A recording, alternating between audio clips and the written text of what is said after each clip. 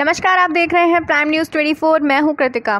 जगदलपुर शासन प्रशासन को चकमा देते हुए हमेशा की तरह फिर से बेवजह लॉकडाउन का उल्लंघन करते हुए बिना काम के सड़कों में घूमते नज़र आ रहे हैं, जिसे देख शासन ने फिर से अपनी कमर कस ली है। बेवजह घूमने वालों को पुलिस प्रशासन द्वारा बिना काम के घर से निकलने पर शत शत निर्देश देते हुए पुलिस अपनी कर्तव्य को निभा रही है।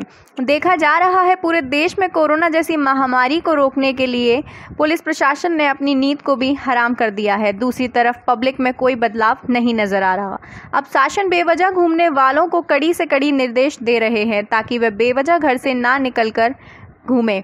थोड़ी बहुत समझाइश के साथ साथ उठक बैठक भी करा रहे हैं। ड्यूटी कर रहे निरीक्षक सुनील खुजूर ने बताया कि वरिष्ठ पुलिस अधिकारियों के दिशा निर्देश अनुसार बेवजह घूमने वालों को रोककर नियमों के पालन करने हेतु बेवजह घर से ना निकले एवं लॉकडाउन का आदेशों का पूरा पालन करें। प्राइम न्यूज़ 24 के लिए जगदलपुर से मोहम्मद अल्ताफ़ की रिपोर्ट।